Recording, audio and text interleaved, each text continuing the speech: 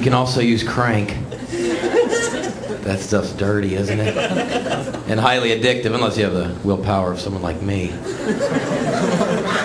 I only tried that shit once for about a year and a half, I think. It all blurred together. That shit makes you a crackhead right away, doesn't it? It does. You can do one line on Saturday, Sunday morning. Let's go to the mall and get a haircut. What? You're fucking bald, dude. Fuck you. I'll buy a puppy. And then we'll get him a haircut. Sell him for a profit. And buy more crank.